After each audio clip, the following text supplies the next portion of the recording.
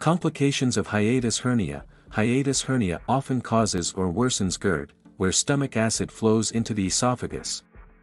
This can lead to esophagitis, inflammation and damage to the esophagus lining. Repeated exposure to stomach acid can narrow the esophagus, making it difficult to swallow, this can result in discomfort and difficulties with food passage. Chronic acid reflux can lead to Barrett's esophagus, a precancerous condition with changes in the esophageal lining. It's associated with an increased risk of esophageal cancer, stomach contents, including acid, can reflux into the lungs, causing aspiration pneumonia. This can be dangerous, especially for older adults. Aspiration of stomach acid or digestive juices can result in chronic cough, wheezing, and other respiratory problems. Severe cases of erosive esophagitis caused by reflux can lead to bleeding in the esophagus, resulting in blood in vomit or stool.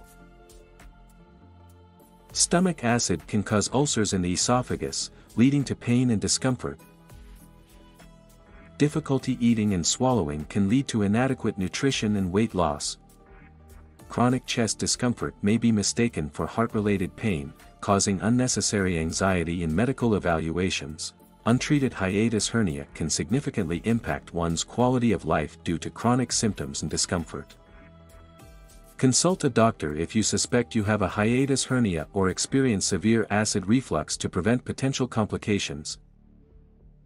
For more details connect with Dr. Tulips Tots at 988 613 9999.